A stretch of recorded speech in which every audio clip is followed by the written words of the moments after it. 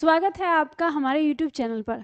आज हम लोग शब्दावली में करने वाले हैं अनेकार्थक शब्द, ठीक है?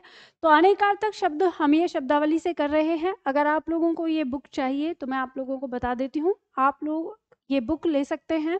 इस नंबर पर कॉल करके आप इसे ऑर्डर कर सकते हैं या हमारे एप्लीकेशन निधि एकेडमी को डाउनलोड करके वहाँ से भी आप ऑर्डर कर सकते हैं। इसके अलावा अगर आप ऑनलाइन चाहते हैं अमेजोन या फ्लिपकार्ट से तो दिए हुए लिंक पर जाकर, जो आपको डिस्क्रिप्शन बॉक्स में दिया हुआ है, वहाँ जाकर भी आप ऑर्डर कर सकते हैं। तो चलिए हम लोग शुरू करते हैं शब्दावली का आज सेट, अगला। हम लोग अनेक, अनेकार्थक शब्दों का दूसरा सेट करने वाले हैं।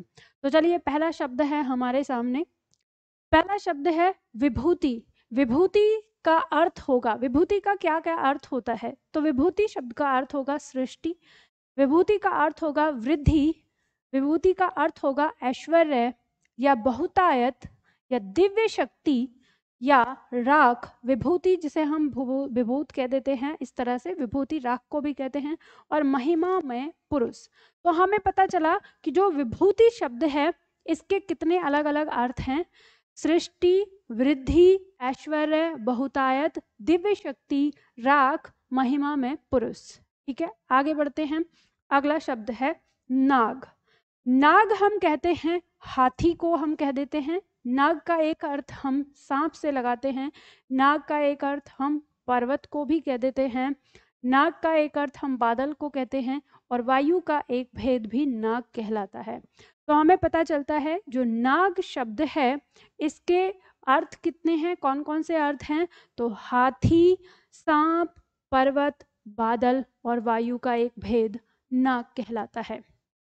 आगे हम देखते हैं, अगला शब्द है हमारा नग। नग हम किस किस को कह सकते हैं? तो नग का एक अर्थ होता है पर्वत, नग का एक अर्थ होता है सांप, नग का एक अर्थ होता है नगीना नग का एक अर्थ होता है संख्या और नग का एक होता है अहद, ठीक है? तो अब हमें यहाँ पे पता चलता है कि जो नग एक शब्द है हमारा, इसके हमारे कौन कौन से अर्थ होते हैं? तो नग हम पर्वत को कहते हैं, सांप को कहते हैं, नगीना को कहते हैं, संख्या को कहते हैं और अहद को हम नग कहते हैं, ठीक है? ये हमें पता चला। अब हम आगे बढ़ते हैं। अगला पॉइंट आता है, अगला शब्द। अगला शब्द है हमारा अधर। अधर हम किस किस को कहते हैं? अधर हम कहते हैं होंठ को, जो होंठ होते हैं हमारे। अधर हम कह देते हैं अंतरिक्ष को। अधर हम कहते हैं तुच्छ को। तुच्छ चीज़ को या छोटी चीज़ को हम अधर कह देते हैं। बिना आधार का जो होता है, जिसका कोई आधार नहीं होता, उसे अधर कह देते हैं। तो जो और नीचे का मतलब अधर, नीचे का कोई चीज़ अगर नीचे है नीचे की ओर हो गई है तो उसे भी हम अधर कह देते हैं। तो अधर हमारा जो शब्द है, इसका क्या क्या अर्थ हो जाता है? इसके क्या क्या अर्थ होते हैं? तो अधर हम होठ को कहते हैं अधर अंतरिक्ष को, तुच्छ को, किसी चीज़ का तुच्छ होना, निम्न होना, और बिना आधार का या नीचे का, कोई नीचे का हो, नीचे की तरफ़ से हो, नीचे स्तर पे हो तो उसे हम अधर कह देते हैं। आगे शब्द आता है हमारा अंक। अंक का अर्थ क्या क्या होता है? तो अंक कहते हैं हम निशान को, कोई भी निशान होता है उसे अंक कह देते हैं। पत्रिका का नंबर, जो पत्रिकाएँ होती हैं, उनको जो नंबर दिया जाता है, वो हमारा अंक कहलाता है। गिनती की संख्या, जो गिनती की संख्या होती है, जो हम कहते हैं कि ये अंकों में अंकों में कहते हैं, ठीक है, वो आता है अंक। नाटक का अध्याय, जो नाटक होता है, उसका एक अध्याय अंक कहलाता है, और गोद गोद को भी हम अंक कह देते हैं, ठीक है? तो अंक शब्द के कितने सारे अर्थ हो गए? तो अंक का अर्थ हो गया निशान, पत्रिका का नंबर, गिनती की संख्या, या हम कहें अंक जिसे कहते हैं ना, संख्या गिनती जो होती है वो, नाटक का अध्याय और गोद, ये हमारा अंक कहलाता है। आगे बढ़ते हैं हम, अगला पॉइंट होता है हमारा रुख। तो रुख जो शब्द है, यहाँ पर शब्द है रुख। ठीक है, रुख। रुख का अर्थ होता है चेहरा, रुख का अर्थ होता है रुझान। कहते हैं ना, किस और किस रुख की हवा है, किस रुख की, किस रुख में ये परिणाम जाएगा तो मतलब रुझान, किस तरफ़ का, ठीक है? मनोभाव रुख को कह देते हैं। शतरंज का एक मोहरा होता है, जो रुख कहलाता है, और सूखा हुआ पेड़, जिसे रूख के नाम से हम जानते हैं। तो यहाँ पर जो रुख शब्द है, इसके अर्थ क्या क्या हो गए? तो चेहरा रुझान, मनोभाव, शतरंज का मोहरा और सूखा हुआ पेड़। रुख कहलाता है। आगे शब्द आता है हमारा हर, ठीक है? हर शब्द के क्या क्या अर्थ होते हैं? तो हर कहते हैं प्रत्येक को, जैसे कहते हैं हर एक हर एक व्यक्ति, है ना? हर। प्रत्येक को कहते हैं हर शिव को कहा जाता है, शिव को, जो एक है शिव, ठीक है?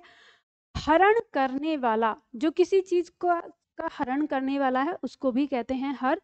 भिन्न के अंश के नीचे की संख्या जो होती है, जैसे हम बटे में लिखते हैं, मान लो हमने एक बटा दो लिखा तो इसे हम कहते हैं अंश और ये हमारा कहलाता है हर। तो यानी भिन्न में जो अंश के नीचे की संख्या होती है, उसे हम हर कह देते हैं। तो यहाँ पे हमें हर के कितने अर्थ मिलते हैं? तो हर का अर्थ है प्रत्येक शिव हरण करने वाला भिन्न के अंश के नीचे की संख्या, ठीक है? आगे बढ़ते हैं। अगला शब्द है हमारा द्विज। द्विज हम किस किस को कहते हैं? द्विज का एक अर्थ होता है पक्षी। द्विज का एक अर्थ होता है दांत। द्विज का एक अर्थ होता है अंडज। द्विज का एक अर्थ होता है ब्राह्मण। द्विज का एक अर्थ होता है चंद्रमा। और द्विज का एक अर्थ होता है प्राणी। ऐसे भी हम द्विज कहते हैं उस शब्द को जो दो बार जन्म लेता है, ठीक है? मतलब उसे कह देते हैं जो जो दो बार जन्म ले रहा है। तो इसमें यहाँ जितने भी लोगों के मतलब जो भी नाम दिए हैं, इन सबका दो बार जन्म माना गया है ऐसे। जैसे पक्षी पक्षी दो बार जन्म लेता है। कैसे? एक अंडा होने पर और फिर अंडे से बाहर आने पर, है ना? तो दो बार जन्म हो गए इस तरह से। तो आता है तो द्विज का हमें क्या क्या अर्थ यहाँ पर मिलता है? जैसे पक्षी हो गया, दांत हो गया, अंडज हो गया, अंडज पक्षी को कहते हैं एक तरह से। अंडज मतलब अंडे से जन्म लेने वाला। ब्राह्मण, चंद्रमा और प्राणी, ये द्विज कहलाते हैं। आगे शब्द है हमारा अब्ज। अब्ज जो शब्द है, इसके क्या क्या अर्थ होते हैं? अब्ज का एक अर्थ होता है कमल, ठीक है? अब्ज का एक अर्थ होता है चंद्रमा। अब्ज का एक अर्थ होता है संख और अब्ज का एक अर्थ होता है कपूर। तो हमें पता चलता है कि अब्ज के अर्थ हैं कमल, चंद्रमा संख और कपूर। आगे शब्द है आराम। आराम शब्द का एक अर्थ होता है वाटिका, ठीक है? वाटिका, आराम वाटिका को कह देते हैं। आराम विश्राम करना, जब हम विश्राम करते हैं रेस्ट लेते हैं, उसे हम आराम कह देते हैं। सुविधा सुविधा को हम आराम कहते हैं कि मुझे इस चीज़ की सुविधा होगी मतलब मुझे आराम हो गया, है ना? और राहत, किसी चीज़ में से राहत प्राप्त होना तो आराम कहलाता है। तो आराम शब्द के कितने अर्थ हो गए? वाटिका, विश्राम, सुविधा और राहत। और आपकी परीक्षा में यहाँ से ज़्यादातर प्रश्न आता है कि वाटिका का पर्यायवाची तो वाटिका का पर्यायवाची आराम हो जाएगा। आराम का पर्यायवाची वाटिका नहीं है, आराम का पर्यायवाची नहीं होता, आराम का अर्थ होता है है ना? तो वाटिका का पर्यायवाची आराम हो जाएगा। ये ध्यान रखना, परीक्षा में आ जाता है। आगे बढ़ते हैं, अगला शब्द है कोटि। कोटि शब्द का अर्थ होता है धनुष का सिरा, ठीक है? धनुष का सिरा हम कोटि कह देते हैं। दूसरा आता है श्रेणी। श्रेणी जिसका अर्थ होता है प्रकार, ठीक है? क्या होता है? प्रकार, है ना? तो धनुष का सिरा कोटि का मतलब हो गया और कोटि का अर्थ हो गया श्रेणी यानी प्रकार। और कोटि का अर्थ हो गया करोड़। ठीक है, जैसे आप देखते हैं ना कि तैतीस करोड़ देवता आप बोलते हैं तो वो तैतीस करोड़ देवता नहीं है, वो संस्कृत में लिखा है तैतीस कोटि। वो कोटि का मतलब प्रकार से है कि तैतीस प्रकार के देवता, ना कि तैतीस करोड़। ठीक है, लेकिन हम अर्थ गलत लगा लेते हैं, इस वजह से अर्थ का अनर्थ हो जाता है। तो क्योंकि ये कोटि शब्द है, इसके कई सारे अर्थ हैं, है ना? धनुष का सिरा भी है, श्रेणी भी है और करोड़ भी है। तो हम अपनी मर्ज़ी से लगा लेते हैं। जो अर्थ लेखक ने लगाया है या जो उस कवि ने लगाया है, हमें वही लगाना चाहिए, जो वो कहना चाह रहा है, ठीक है? अब आता है शब्द जैसे रस। रस के क्या क्या अर्थ हैं? रस का अर्थ है अर्क, ठीक है? अर्क। रस का अर्थ निकलता है। रस का अर्थ है रूप। रस का अर्थ है पानी। रस का अर्थ है स्वाद। रस का अर्थ है सत्व। रस का अर्थ है निचोड़। निचोड़, जिसे सार, एक तरह से सार निकालना है ना? रस का अर्थ होता है आनंद और धातु की जो भस्म होती है, वो हमारी क्या कहलाती है? रस कहलाती है, ठीक है? तो हम यहाँ पे देख सकते हैं कि जो रस है, उसका क्या क्या अर्थ होता है? अर्क, रूप, पानी, स्वाद, सत्व, निचोड़, आनंद, धातु की भस्म, ठीक है? धातु का भस्म लिखा हुआ है, धातु की भस्म होता है, ठीक है?